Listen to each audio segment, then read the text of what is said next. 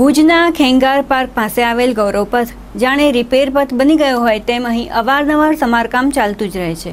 અને રસ્તાની હાલત એટલી ભંગાર થઈ ગઈ છે કે ક્યારે શું થઈ જાય તે નક્કી નથી. હાલમાં પણ ખેંગાર પાર્ક પાસે આ માર્ગનું કામ ચાલી રહ્યું છે. ત્યારે આજે આ વિસ્તારમાં ચાલતા કામમાં પાણી પૂરું પાડવા માટે દોડી રહેલ ખુદ સુધરાઈનું ટેન્કર પણ આ રસ્તા પરના ઊંડા ખાડામાં ફસાઈ ગયું હતું. આ માર્ગ પરથી પસાર થતું ટેન્કર જ્યારે ગૌરવ પથના છેવાડા પર હતું, ત્યારે અચાનક આ ટેન્કરનું વ્હીલ રસ્તાની અંદર બેસી ગયું હતું અને ટેન્કર ત્યાં જ અટકી ગયું હતું. લાંબી જહેમત બાદ માંડ માંડ આ ટેન્કર બહાર કાઢી શકાયું હતું. અત્રે ઉલ્લેખનીય છે કે ભુજનો આ માર્ગ હંમેશા રિપેરિંગના કામથી જ રોકાયેલો હોય છે.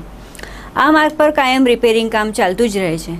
જેટલો ખર્ચ આ માર્ગને બનાવવામાં થયો છે તેના કરતાં અનેક ગણો ખર્ચ આ માર્ગના રિપેરિંગમાં થઈ ગયો છે તેમ છતાં હજુ આ માર્ગ સતત રિપેરિંગ કાર્યમાં જ રોકાયેલો રહે છે. તે ખરેખર નવાઈની વાત છે.